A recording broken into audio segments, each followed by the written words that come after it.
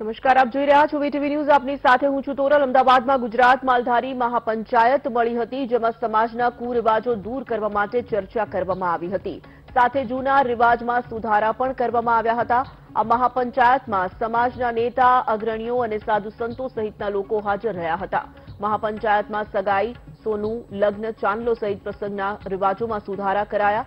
સાથે દવાખાના બાબત રમેલ બેસણું જન્મદિવસના રિવાજોમાં પણ સુધારા કરવામાં આવ્યા છે. આ તમામ સુધારા સમાજના લોકોને આર્થિક અને શૈક્ષણિક રીતે સમૃદ્ધ કરવા માટે કરવામાં આવ્યા છે.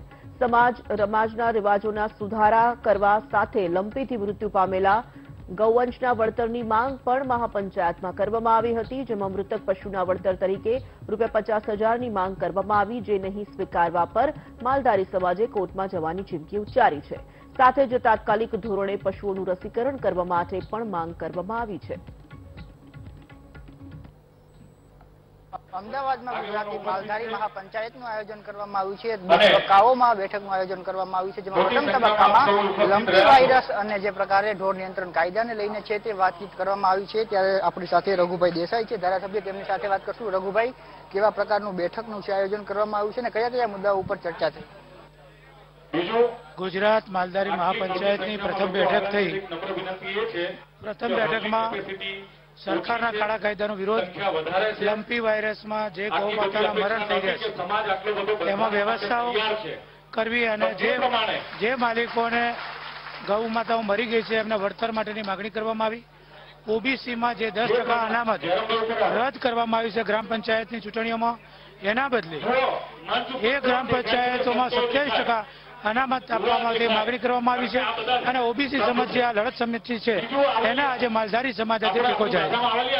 અને આજે અમારા રીતિ રિવાજો જૂના કુરિવાજો બંધ કરી અને નવા રિવાજો માટેના જે બંધારણ પરિષદની બીજી બેઠક મળી છે જેમાં અમારા જૂના કુરિવાજો દૂર કરી અને નવા બંધારણમાં નવા સુધારો સમાજની પ્રગતિ માટેના આજે અમે નક્કી કર્યું છે. ખાસ કરીને લંપી વાયરસ મુદ્દે શું નક્કી કરવામાં આવ્યું છે? આવી? લંપી વાયરસમાં જેમ કોરોનામાં સરકાર ફેલ હતી, એવી પરિસ્થિતિ લંપીમાં પણ છે. રસી ઉપલબ્ધ નથી. ગૌ માતાઓ મરી રહી છે. ગૌ માતાના નામે જે સરકારે મત લીધા છે, એ સરકારમાં આજે ગૌ માતાઓ મરી રહી છે.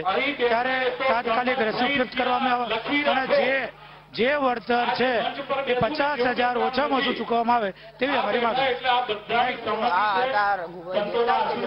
છે. કે લંપી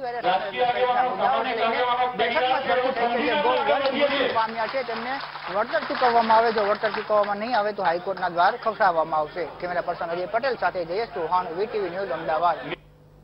ભ્રષ્ટાચાર